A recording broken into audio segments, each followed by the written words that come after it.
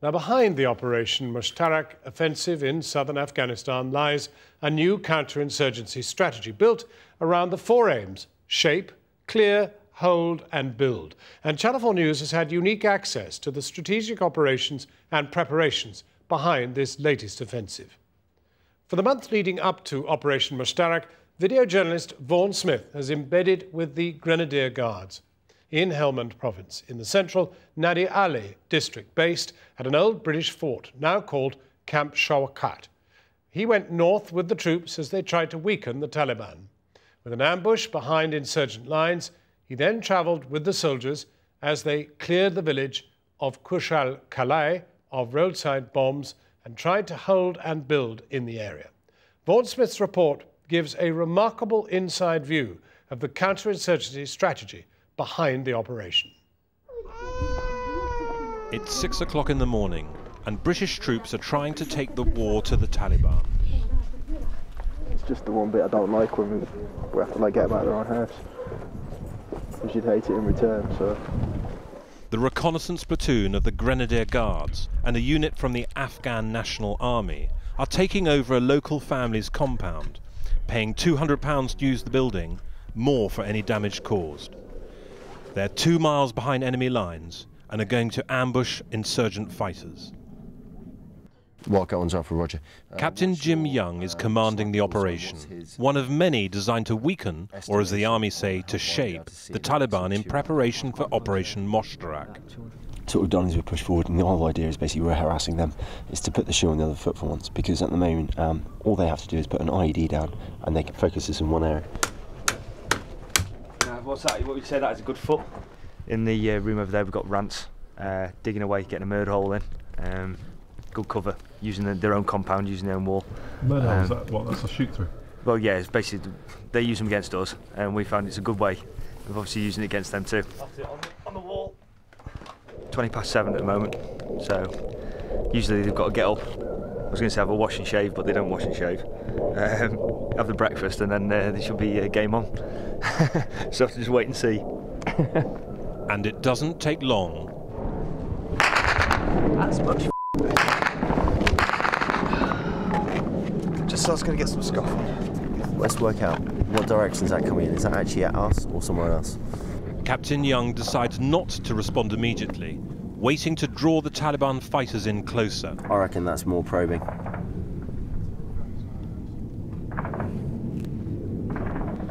That's a recce by fire. They think they're over here, we're just waiting for a reaction. That was close.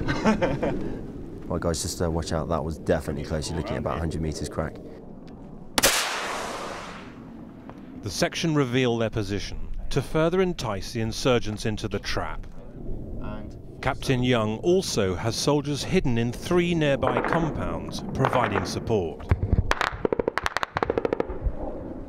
that small arms fire they just had, uh, that was accurate 700 meters. Um, that's sharpshooter bordering on sniper because um, actually it's probably about four or five inches below um, one of the packs on there, one of my fire compounds. Um, perfect because we've got a couple of snipers here and they'll do some counter sniper uh, fire. Uh, one setting up to actually take the kill, the other's going to be the one to actually try and draw them out.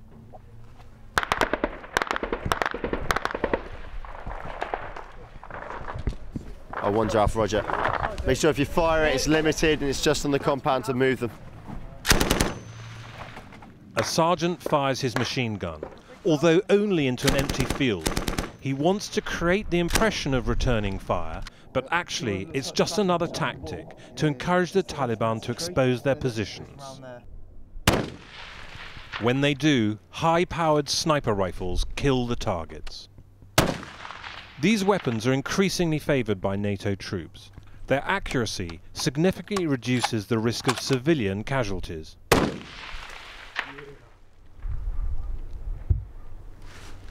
Chunk out the wall.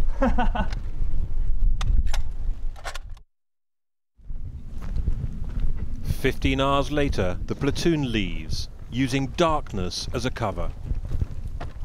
So, good insertion, good act. We got two kills, uh, including, I'd say, a sharpshooter. It shows the local nationals that we got freedom to move, and more importantly, it shows insurgents that they can't ever take anything for granted. The main base for the Grenadier Guards is locally called the British Fort, a relic from the military adventures of the 1880s. And the men in charge here are Lieutenant Colonel Roland Walker and his Sergeant Major Ian Farrell. How's security been? They are at the forefront of the British counterinsurgency effort to shape, clear, hold and build within the Nad-e Ali district. As we go about this operation, just remember it's not all about the Taliban.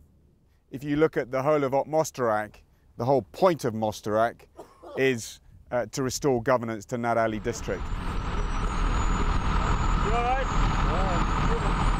An offensive operation in a counterinsurgency is about taking that away from the insurgents that they can't afford to lose, which is simply put is control of the population. Colonel Walker has been commanding the Grenadiers in Afghanistan for five months. It is a war that has been as dangerous for commanders as for their soldiers. Is it fun hunting men? It's exhilarating. Truly exhilarating. Uh, it's a high price if you get it wrong, and if you're caught out, and if you turn into being the hunted, then it can be pretty frightening. But if you can personalize it, and you can lay the traps, and you can draw them in, um, then yes, it's, it's very exhilarating. Salam Baba.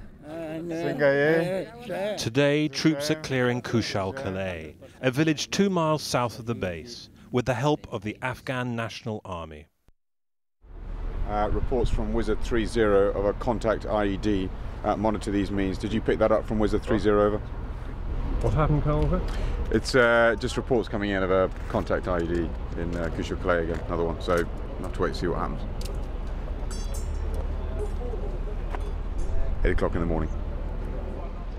Half a mile outside the village, Lieutenant Colonel Walker and his men are told that an improvised explosive device has been detonated. They wait for word of casualties. Um, just started to patrol just to break into the village, and unfortunately, there's a, there's an IED placed behind a wall, which um, which went off. 17 minutes later, American Mercy helicopters arrive to evacuate the injured to the nearest field hospital.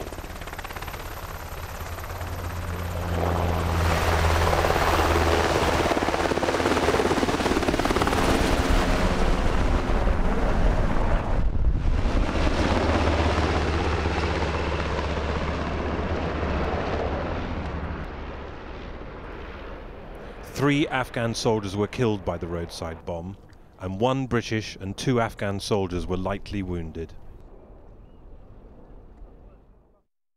We're just trying to get uh, the engineer, sort of high research team down to clear that junction because we know it's had IEDs before. Clear that junction, and then we're going to blow all the compound walls, the low compound walls, so they can't uh, put anything else behind them. The soldiers believed that the booby trap that caused the Afghan National Army, or ANA, casualties was armed by the Taliban only the night before. There was an explosion there earlier, yeah? Um, apparently this is where the contact explosion was on the ANA vehicle. Yeah. Um, they probably think it was on a command pull, which meant they pulled the string for the, the device to go off. Is it a wire? Nah. You can see a wire under the wall? Can't see it, but I'll just have a little dig around. Yeah. So what's your job? My job as a searcher will be road party, isolations, just that kind of stuff. It's quite fun in a way, but it's extremely dangerous, but you don't think about the dangerous part of it, you just crack on with it, to be honest. What you got?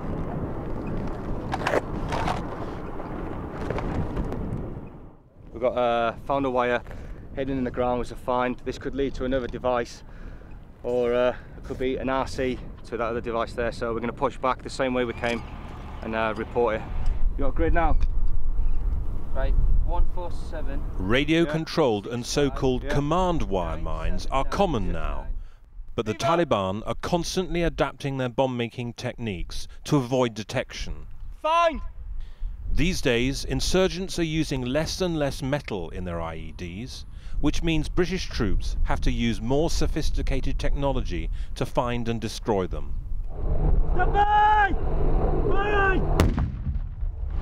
we can search. When we find IEDs, we can neutralise them make it safe for our guys to come through. It's a risky business, but we have philosophies and principles and SOPs which reduce that risk as much as we can do. Uh, SOPs that are basically written in blood over years in Northern Ireland, uh, people who've been killed, uh, things we've learnt from previous devices about terrorist tactics. On the junction where the Afghan soldiers were killed, the bomb disposal unit found three other devices.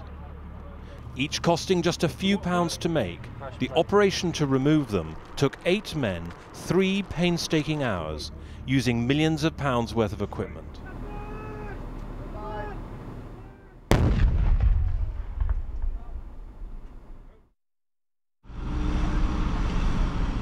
With the village cleared, the Grenadiers plan to hold it and build up a security presence. Within 36 hours, compounds have been constructed and locals are invited to a meeting, a shura. Hosted by the district governor, Habibullah. Może fakat możemy mieć kitaj se zandash kara kuch mushtarakam khalagi.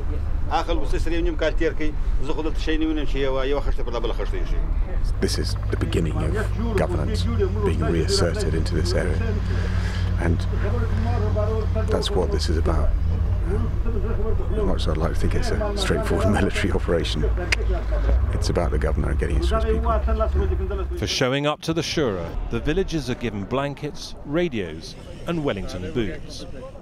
Within a week, most of the soldiers will have left, to be replaced by the Afghan police.